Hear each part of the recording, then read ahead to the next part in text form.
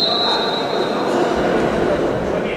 Благодаря кинематографу мы знаем, что жизнь начинается в 40. Но герои нашего следующего сюжета доказывают, что быть ветераном в 35 тоже очень хорошо. В спорткомплексе СКА состоялся финальный матч Кубка Одессы среди ветеранов возрастной категории 35 и старше, посвященный памяти Александра Погорелова. В финале встречались Таврия В и дебютант подобного рода соревнований Глория, практически в привычном, не ветеранском составе.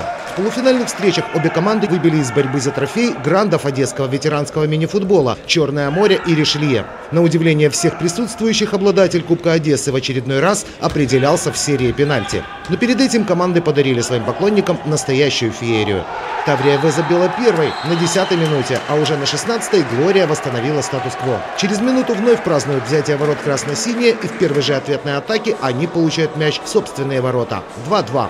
После перерыва глорианцы организовали классную контратаку. Андрей Шевченко совершил прорыв по правому флангу и выдал изумительный пас на Александра Станкевича, который четко пробил мимо Богдана Криворучка.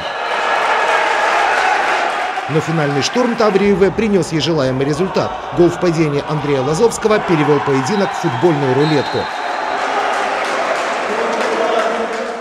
Ни один шестиметровый из 12 парирован не был. Футболисты обеих команд исправно заколачивали удар за ударом. И только шестой выстрел в исполнении Константина Шкарупеева пришелся в правую штангу, после чего Вячеслав Шумлянский хладнокровно наказал соперника за ошибку.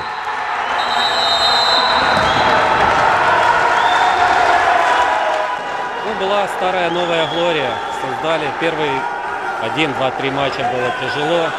Пришлось вспоминать старые связи. Так потихоньку-потихоньку дошли до финала. К сожалению, не все люди у нас сегодня были в финале, не все здоровы. Ну, слава богу, что выиграли. Победа как бы посвящается болельщикам. Спасибо.